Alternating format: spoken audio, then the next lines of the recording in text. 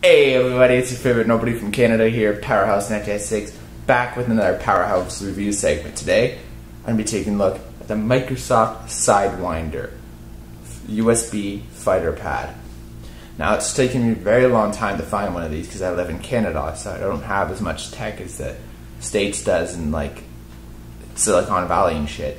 So, there's a lot more uh, time to find oddball stuff like this. I finally found it at Value Village a couple weeks back now, um, and I've always wanted to do a review on it. Now I have the time because I've graduated. So, without further ado, let's play some Galaxian on the Microsoft Sidewinder. Now, first, I wanted to explain how I set up the controller using the config option on the FCEUX NES emulator.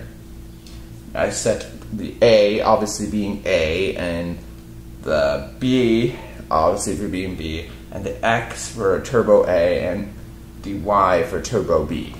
Uh, those who did not play video games back then, the turbo buttons are just basically faster functions. You can get through your level.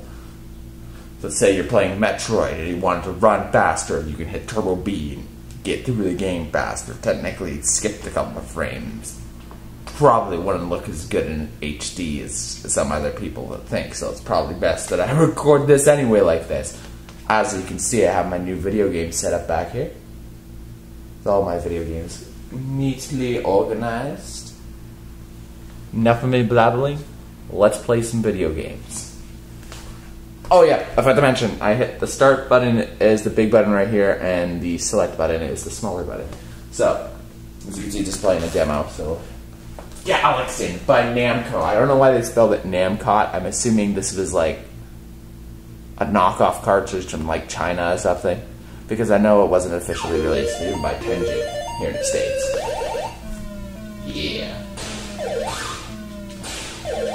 Still haven't beat the default high score. Never been really good at this game. It's harder, it's a lot harder. If I if I can shoot it without looking at it. It's like I'm not looking at the screen.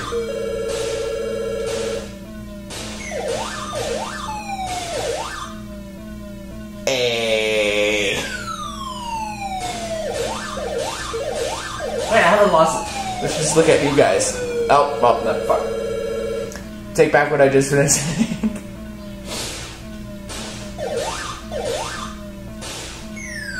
um, I will say, at first, uh, it does take some use to get your hands used to this controller, but as soon as you get used to it, it's a phenomenal controller.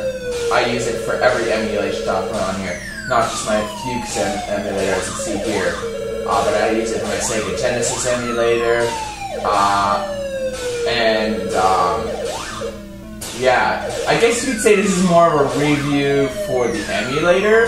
I guess you could say it's a, wait, this would be my first double review. Now there's some fucking com- Whoa! Alien. Ah! Bullets! Bullets! Bu Just focus on the game. Can't do both at the same time. See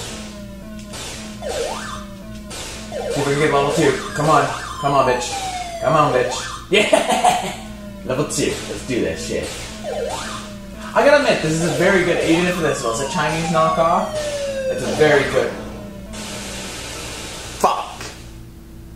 Um, yeah. So let's let's let's open up another file. I'm just gonna go to my computer in the corner there and uh, open up another file. Okay, what do we got here? I'm hitting open ROM. As you can see, I have my ROMs in the ROMs folder. Whoa, so many good games here. Let's play some good old Pac-Man. Now, this one is an officially licensed uh, cartridge by Tengen. Uh, Tengen was a side division of um, Atari at the time. Uh, basically, Nintendo didn't want anything to do with Atari, so Atari decided to open up a side division where they made their own cartridges for Nintendo called Tengen. If you want more information, I highly recommend you watch the history of the video game or the video game invasion. If you want more information about Tengen, really good thing. Actually, I plan to post the full. I actually have it uh, transferred from VHS. I do plan to post the full video for free without monetization. So, stay tuned for that.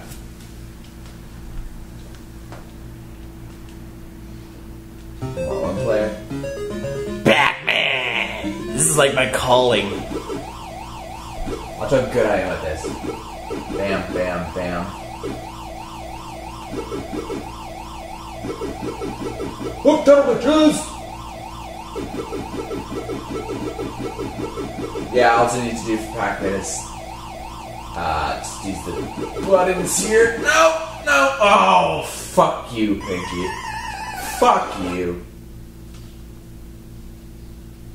I'm trying to get up there, but it's not being responsive, probably because it's a bit older. Oh, yeah, you can be very Pacific. Come on, up, up, up, up, around. No, no, no. That was a poor decision. I'm very disappointed with myself right now. Okay, let's try this shit again. Bap, bap, bap, bap, bap, bap. Up, motherfucker, up. Down, motherfucker, down, motherfucker, down. Ah, to the side, never mind. Ah, ah, ah. Jesus Christ! That was way too close. Holy bapping buttholes. Oh man, I gotta eat these motherfuckers. Eat these mofos!